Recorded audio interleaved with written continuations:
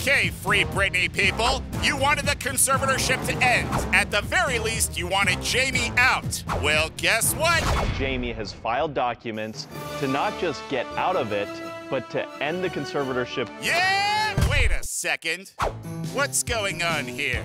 Well, according to the documents, Jamie says If the court has deemed that Britney's able to hire her own attorney, then surely she can make business decisions. So what's the need for a conservatorship? I am not buying Why? it. Jamie Spears very recently has told people privately that his daughter is actually getting worse rather than better. Well, that makes this seem very spiteful to me. Like, it shows how bad the relationship is. It's like, oh, see how well you can do without me. Fine, no conservatorship, but when you crash and burn, I told you so. That's one interpretation of it. I think the other is he's calling everybody's bluff. Sources tell us Jamie believes there's no way the judge is going to end the conservatorship, but just by asking, Jamie comes across as the big hero. He even points out in the documents, hey, Brit's lawyer never asked to end it. In a way, he's calling his bluff and saying, okay, come on board with me now. He's calling out Britney. He's calling out his own daughter. Why isn't the Free Britney movement excited about this? He's doing it for the wrong reasons. That's why. What do you mean the wrong reason? He should say, I will resign and what is right for my daughter should happen. He's said Period. that. No, no, no, no, no. Yes, he did. No, Harvey. What he said was end the conservatorship. no, he said everything the Free Britney people wanted in that. You guys are being disingenuous. No, you're being disingenuous. You're being ridiculous, and you're and you're wearing shorts, and you're a lawyer.